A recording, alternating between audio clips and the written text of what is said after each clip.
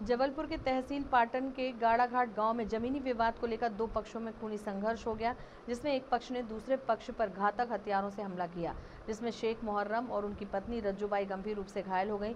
घायलों को इलाज के लिए पाटन अस्पताल ले जाया गया लेकिन हालत गंभीर होने पर जबलपुर रेफर कर दिया गया।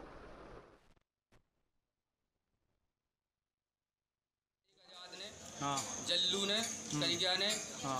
और पाँच छह जो लोग और रहे उनका नाम हमको याद नहीं है। हाँ।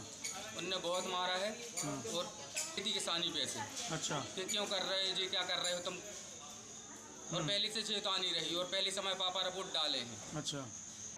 आज़ाद ने मारा अजल्लू ने मारा और रईस ने आसिक ने और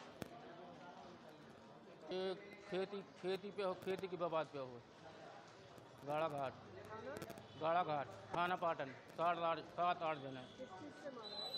हरसा से और बल्लम से। हाँ, कल डायल हंड्रेड थाना पाटन पर एक सूचना आई थी कि गाड़ा घाट में दो लोग घायल पड़े हैं।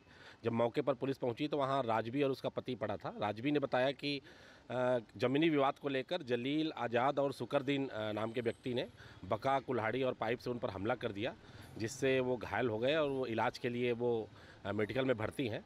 जानलेवा हमले, हमला करने के कारण धारा एक सौ नौ भारतीय न्याय संहिता का अपराध थाना पाटन में दर्ज कर लिया गया है और आरोपियों की पतारसी की जाए